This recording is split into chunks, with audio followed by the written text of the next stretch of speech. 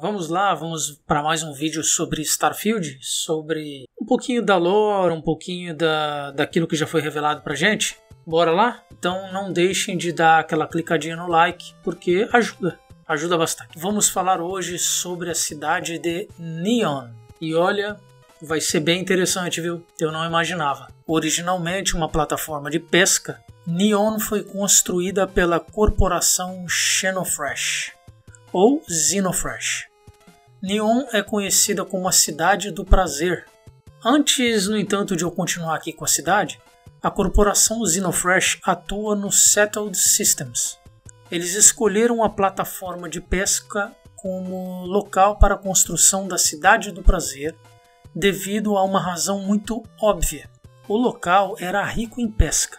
Aliás, ainda é, só não é mais usado para isso. O planeta só não é mais usado, a economia do planeta só não está mais focada nisso. E dentre a variedade absurda de peixes, uma espécie particular de peixe deste planeta aquático possuía propriedades psicotrópicas. Psicotrópica é tudo aquilo que atua no sistema nervoso central do ser. A corporação Xenofresh usou este peixe para a produção de uma das mais populares e consumidas drogas dos tempos modernos, chamada Aurora, esta droga é manufaturada pela Xenofresh, que pesca uma espécie em particular de peixes no planeta aquático da cidade de Neon. Esta droga, Aurora, foi banida na maior parte dos Settled Systems. A exceção é a cidade do prazer, Neon.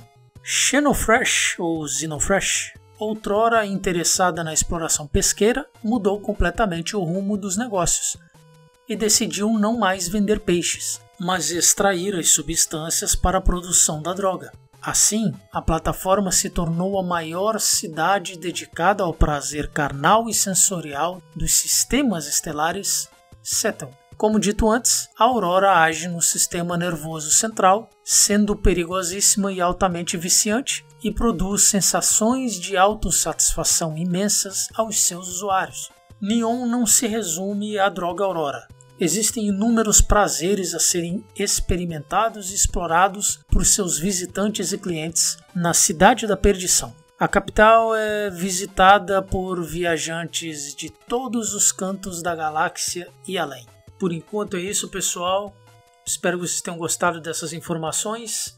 Deixem um like e até o próximo vídeo. Valeu!